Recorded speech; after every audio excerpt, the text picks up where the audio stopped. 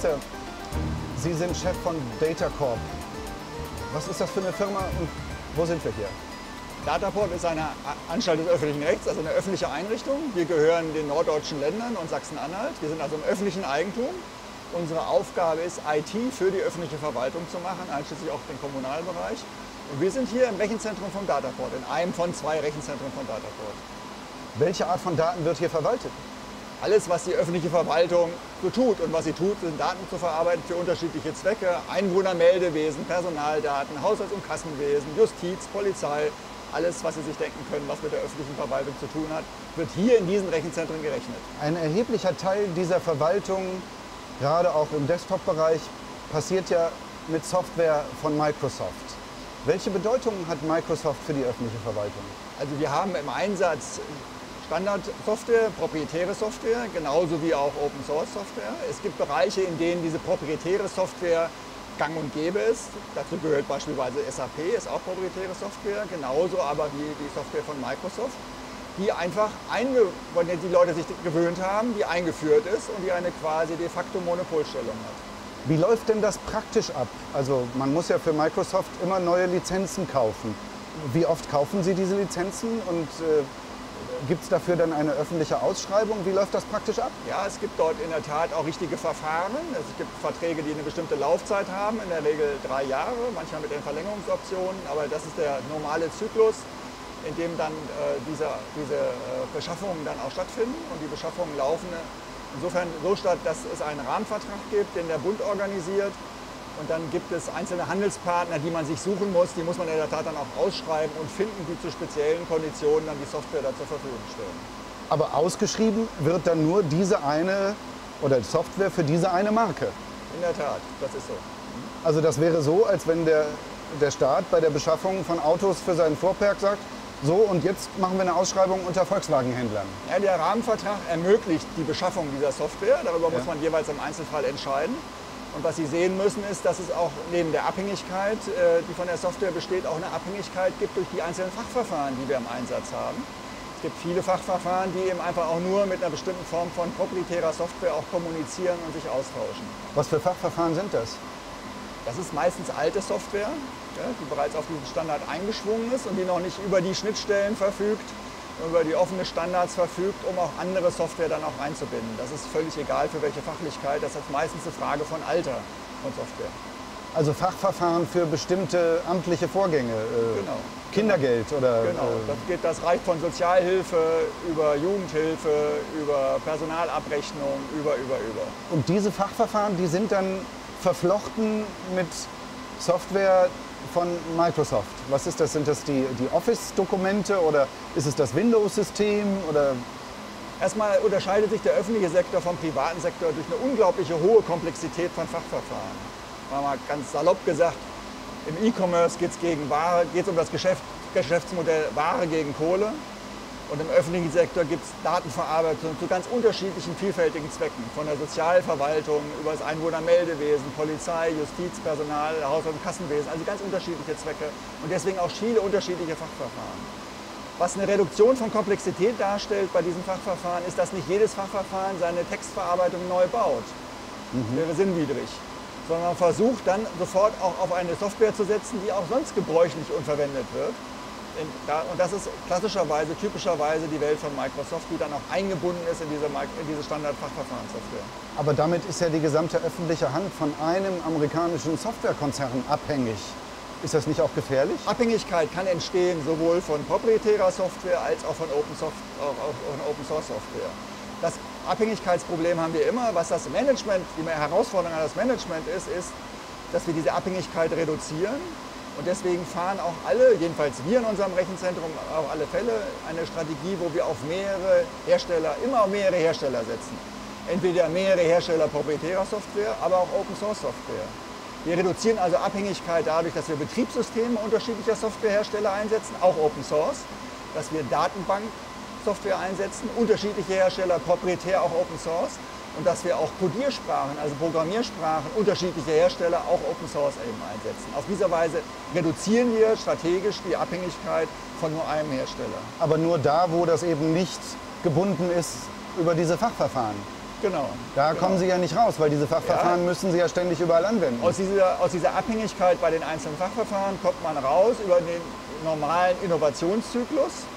Also immer dann, wenn alte Software abgelöst wird, kann man neue Software suchen, die über die entsprechenden Soft Schnittstellen auch verfügt, sodass man andere Software auch einbinden könnte. Jetzt ist ja ganz viel Software extra für die öffentliche Hand entwickelt worden und ist dann ihrerseits aber auch wieder proprietär. Also, wenn man so will, auf das große Microsoft-Monopol haben viele kleine Region, regionale Monopole aufgesetzt. Ist das richtig? Also wir haben bei den Fachverfahren ganz wenige Konstellationen, bisher ganz wenige Konstellationen, wo wir wirklich von Mo- Monopolen sprechen müssen und wo wir diese Abhängigkeiten haben. Wir haben zum Glück in den meisten Fällen, in den meisten Fällen, gerade im Kommunalbereich, zwei, drei oder vier Hersteller. Das ist gut. Im Bereich der großen Verwaltung, wie äh, im Justizbereich und im Polizeibereich, gibt es meistens große Entwicklerverbünde, sodass wir also dort auch einen gewissen ja, Wettbewerb, also wir haben zumindest vergleichbare Systeme, wo man sich dann immer noch entscheiden könnte, ob man das eine oder das andere wollte. Man muss aber auch sehen, dass der Markt des öffentlichen Sektors kein richtiger Wettbewerbsmarkt ist. Gerade da, wo es immer spezieller wird, es programmiert keiner Standardsoftware für eine deutsche Spezialverwaltung, weil er die im europäischen Ausland überhaupt nicht verkaufen könnte. Aber viel von der Software, die für die öffentliche Hand entwickelt wird, ist doch ihrerseits proprietär. Wäre es nicht viel sinnvoller, wenn eine Körperschaft, ich sag mal ein Bundesland, ein neues Verfahren entwickelt, um das neue Asylbewerberleistungsgesetz umzusetzen, wenn man das Verfahren dann auch gleich Open Source machen würde, sodass alle anderen das auch verwenden könnten? Also diesen Mechanismus von, wenn Software entwickelt wird im öffentlichen Sektor, Ja. also eine, Institu eine Institution das macht, dass sie auch den anderen zur Verfügung steht, das gibt es.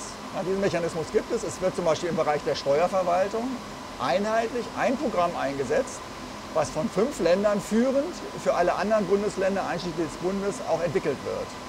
Oder wir haben eine Entwicklung, Fachverfahrensentwicklung im Bereich der Justiz und auch der Polizei nach dem gleichen Mechanismus. Und das ist nicht einer für alle, sondern der eine macht es für die eine Hälfte und der andere macht es für die andere Hälfte. Also wir kennen solche Mechanismen von Aber vielfach findet das auch nicht statt. Ne? Also, Ja, da wo ein Markt da ist, findet es nicht statt. Und da wo ein Markt ist, also im Bereich der kommunalen Software zum Beispiel, gibt es sowohl öffentliche Einrichtungen, die Software herstellen, als auch private Einrichtungen, die Software herstellen.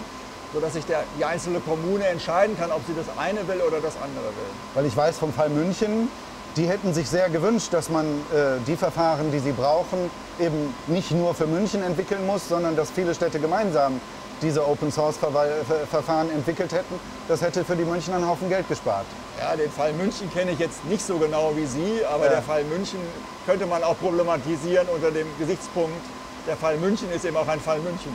also die Software, also Standardsoftware, ja, ob Einwohnermeldewesen, da gibt es zwei, drei Produkte. Ja. Außer im Kassenwesen gibt es vier, fünf Produkte. Ja. das einzige wirklich de facto, der Jure-Monopol haben wir im Bereich des Standesamtswesens, aber das ist das einzige. Wenn jetzt aber so viele Programme mit den Systemen von Microsoft verflochten und verbunden sind, hat das nicht auch ein inhärentes Sicherheitsproblem, wenn man Programme in der öffentlichen Verwaltung betreiben muss, deren Quellcode nicht mal die Sicherheitsbehörden untersuchen können?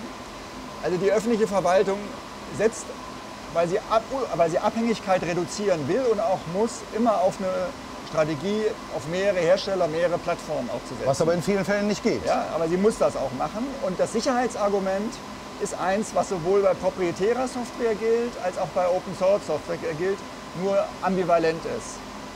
Bei proprietärer Software habe ich in der Tat, kann ich den Nachteil haben, dass ich in den Quellcode nicht gucken kann. Ich könnte es mir aber vertraglich zusichern lassen, es zu tun.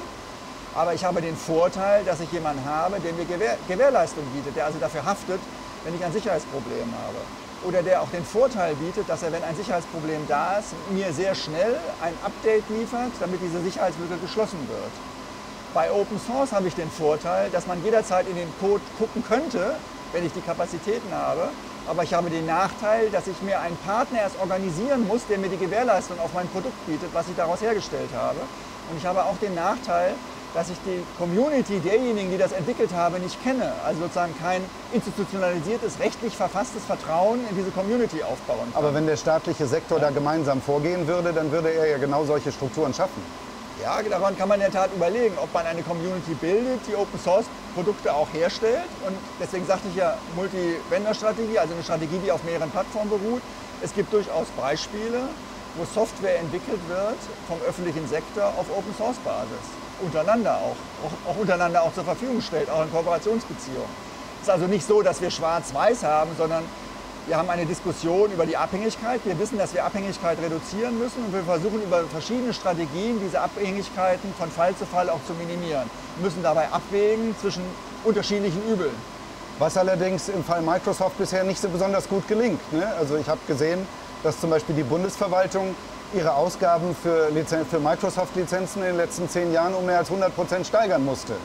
Microsoft ist in der Tat eine echte Herausforderung, nicht jetzt wegen Microsoft, sondern wir reden über den Erfolg, über den Erfolg eines Produktes, an das sich die Nutzer, also die Mitarbeiterinnen und Mitarbeiter des öffentlichen Sektors, wie auch im privaten Sektor gewöhnt haben. Es ist ja nicht nur so, dass die öffentliche Verwaltung Microsoft-Produkte ja. einsetzt, sondern Microsoft-Produkte werden auch eingesetzt von der Wirtschaft und auch im privaten Sektor und werden auch in den Hochschulen eingesetzt und, und, und, und, und. Also wir haben sozusagen eine Eingewöhnungskultur an diesem Mechanismus und deswegen ist es eine echte Herausforderung, auch da Alternativen zu schaffen. Diese Alternativen kann man schaffen. Es gibt sie ja zum Teil auch. Was man braucht, sind Rahmenbedingungen. Man braucht vor allen Dingen auch ein Verständnis, ein Grundverständnis einer europäischen IT-Politik, die diese Rahmenbedingungen auch schafft und auch fördert. Das muss man aber auch wollen und das soll auch tun. Bisher ist dieser Wille nicht da, oder? Ich glaube, dass was die Frage von Europä einer Euro der Entwicklung einer europäischen Industrie angeht, da fallen mir spontan ganz andere Industriefelder ein, wo sich die Europäische Kommission sehr viel stärker engagiert hat als gerade die Entwicklung von solcher Software. Denken Sie an die Automobilbranche. Ja, zum Beispiel. Oder auch den Luftfahrtverkehr. Oder den Luftverkehr, genau. Aber es gibt ein vergleichbares Projekt, auch was von der, wenn man so will, was genauso eine große Herausforderung war, mhm. nämlich, dass die Europäer irgendwann gesagt haben, es kann nicht sein, dass wir bis in alle Ewigkeit von den amerikanischen Satellitennavigationen abhängig sind. Wir brauchen eine eigene unabhängige Satellitennavigation. Wäre, also das Galileo-Projekt, Sie kennen es, ne? Wäre ja, nicht im Grunde, wir brauchen eine eigene Betriebssysteme und, und Office-Software, äh, um unabhängig von Amerika zu sein, wäre das nicht ein vergleichbares Projekt? Klar, es ist ein vergleichbares Projekt, aber es ist eine riesen Herausforderung und es ist immer einfacher, etwas Neues, eine neue Herausforderung mit neuer Technologie zu bewältigen, als zu versuchen, eine Schlacht von gestern nochmal neu zu schlagen, die man möglicherweise mit viel Geldeinsatz dann auch ver verliert und deswegen Geld verbrennt.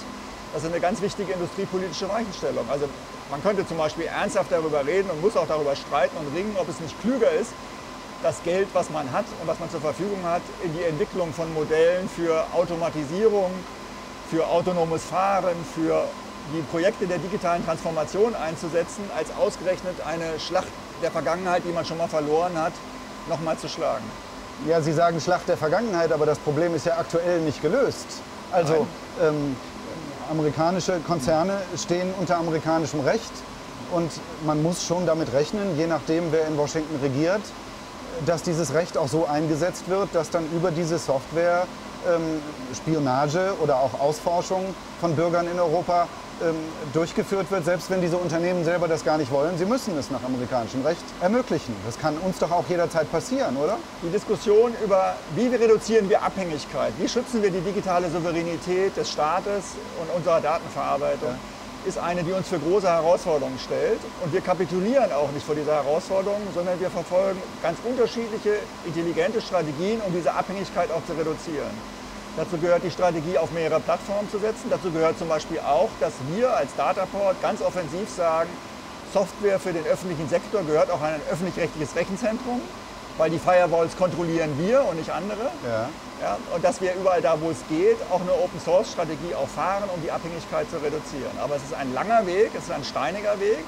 Und dieser lange und steinige Weg bedarf der Unterstützung durch eine engagierte IT-Industriepolitik, am besten auf europäischer Ebene. Sie sagen Rechenzentrum im öffentlichen Besitz, das heißt aber gleichzeitig, dass trotzdem viele externe Dienstleister in diesen Rechenzentren arbeiten, darunter auch viele Firmen, die direkt mit Microsoft verbunden sind, oder? Wir haben da eine ganz dezidierte Sicherheitspolicy und wir gehören zu denen, die das solche, solche Risiken minimiert, wo es nur geht.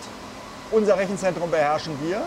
Wir setzen wahnsinnig viel Geld für IT-Sicherheit ein. Ungefähr 10% unserer Leute, unseres Umsatzvolumens steckt da drin. Und wir sind eines der ganz wenigen Rechenzentren, die nach einem sehr hohen Level des Bundesamtes für die Sicherheit der Informationstechnik auch zertifiziert sind. Wir setzen extra Technologien ein, die den Zugang zu unserer Software, zu unserem Rechenzentrumsbetrieb gesondert kontrolliert, Und ich möchte das Rechenzentrum der öffentlichen Verwaltung sehen, das diesen Standard, den wir hier eingeführt haben, auch hält.